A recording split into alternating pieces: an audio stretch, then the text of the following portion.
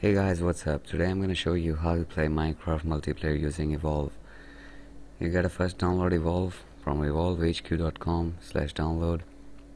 The link's gonna be in the description if you can't find it. So you gotta first sign up there, download the client, log in and stuff. After that, you open the client, click Evolve, go to Preferences, click Features, and take Party System and click Save. Now what's that gonna do is it's gonna enable the feature to create a party. So you can make a party and play with your friends. So I'm gonna make a party and invite my friend and I'm gonna host a server and I'll show you how to host one.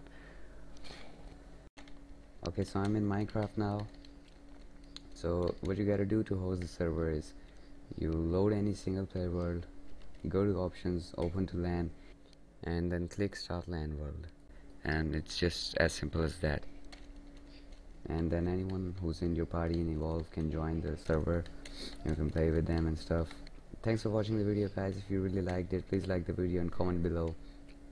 And subscribe us for more gameplays videos and tutorials. We're gonna be starting our Minecraft Let's Play series soon. So hope to see you again. Bye